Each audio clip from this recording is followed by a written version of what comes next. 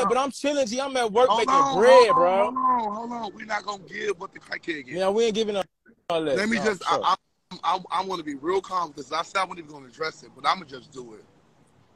And that's what. And I want you to come in as I finish this part. Right. Again, Lou had the beef with Adonis. Everybody know that. I don't even know what Adonis is. Lou was scared to fight Adonis. Lou didn't fight Adonis. Me and Lou Scared. got, Lou, me and Lou got into an argument. Ooh, I can't talk about that part because it's gonna be on, it's on the show. All right, boom. That's what happened with that. Fast forward to the premiere. We at we we at the premiere. I already know all fuck with me. I already know that because of what happened with the situation about him not sending his ones with Adonis. But let Right. me tell y'all how to how the tension with me and Lou started. We were at our photo shoot, which is not filmed, so I can talk about this. We were at our photo shoot. It was we were already done filming. Lou moved back back in to do the photo shoot because people. But whole, but but but whole time, No. nephew, mu- motherfuckers been trying to use you for clout, G. Man. Motherfuckers been on your That- heels, and I seen the whole thing since day one, since the motherfucker came around, G. And I told you to watch out for, buddy, but you, you but you weren't listening to me, bro. Because I, I, I I, told saw you. somebody, I saw somebody who needed help. So I, I'm always trying to help somebody. You know how they go. But you can't help everybody, G. Motherfuckers be trying to get to where you at. Motherfuckers be trying to use you I as help a, him. a I help stepping. him get. I help him get to where he on the show. Exactly. That's what I'm saying. That's know- why he was doing little even know- shit like he giving free even know- he- hold clothes and.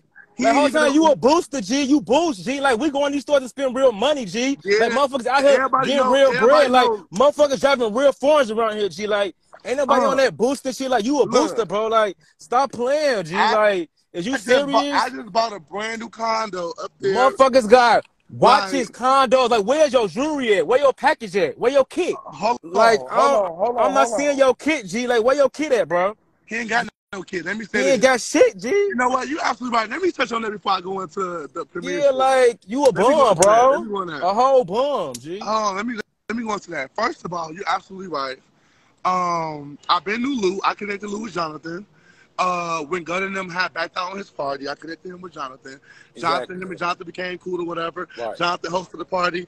Lou paid Jonathan or whatever to host the party. Lou paid me to host the party. Flew me out, all that. He was trying to pay all of us. He was trying to pay everybody. You thought, it, man. Right. He even tried to pay Tiffany or whatever because you know Tiffany, his his girlfriend, you know she be fucking him because you know Tiffany got a big dick. Boom. Anywho, um. Yo, that's crazy. Anywho, um, Lou Lou used to steal clothes and shit from me or whatever. Yeah, bitch.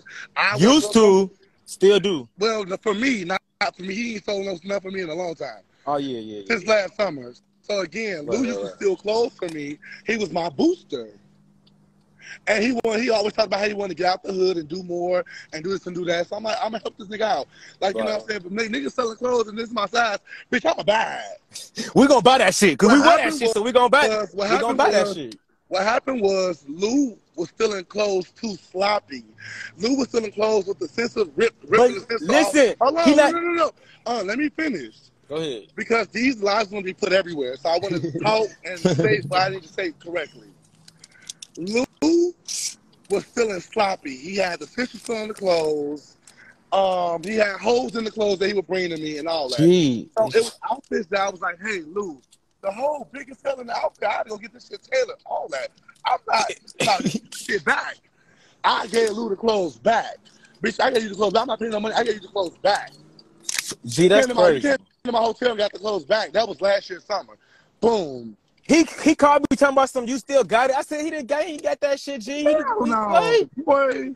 Talking about some. You owe him eight hundred dollars for a Balenciaga outfit. Like, first of all, who paying you? You